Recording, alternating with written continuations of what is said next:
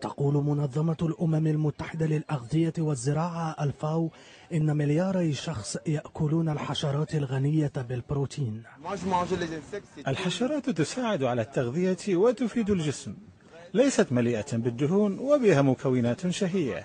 إذا أكلتها طوال الوقت فلن تصاب بالأمراض. وترغب منظمة الفاو في أن ترى زيادة في إنتاج الحشرات القابلة للأكل في البلدان النامية بآسيا وأفريقيا وأمريكا اللاتينية حيث توجد مشكلات في التغذية. وبالرغم من وجود هذه الحشرات في الحقول والغابات فإن الخبراء يعتقدون أنه في الإمكان تنميتها على مستوى صناعي.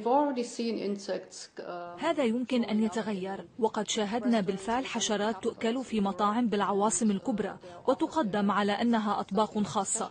وعلى المدى البعيد يمكن أن ينتشر هذا الغذاء في الدول الغربية. عدد من الحشرات غني بالنحاس والحديد والمغنيسيوم والفوسفور وبعضها كأنواع معينة من النحل تضحي في قيمتها الغذائية اللحم والسمك.